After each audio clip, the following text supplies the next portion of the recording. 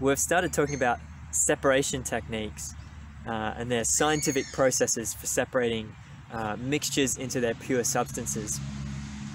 And actually, quite surprisingly, there's a lot of separation techniques talked about in the Bible. And they're talked about because they're used as imagery for something else. One of them is called winnowing. So you get grain that you've harvested and you go through a process that um, breaks the husk or the chaff away from the actual grain that you can eat.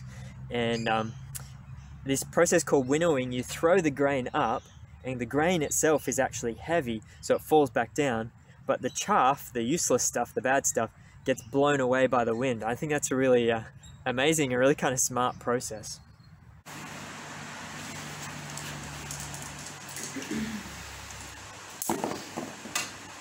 Now the message behind a lot of these passages that talk about these separation techniques, uh, passages like Psalm 1, for example, um, the message behind them is often quite similar actually. It's that God is involved in this massive purification process where all the good gets separated from all the bad and the bad gets thrown out forever.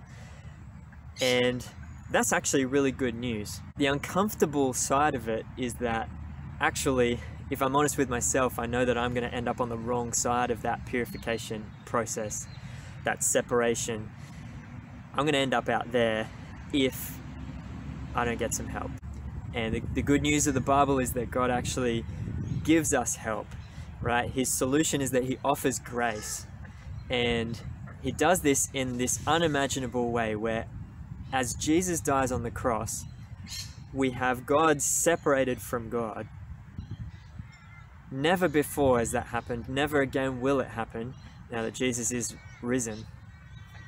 But for a time, God is separated from God on my behalf. And that's wonderful news.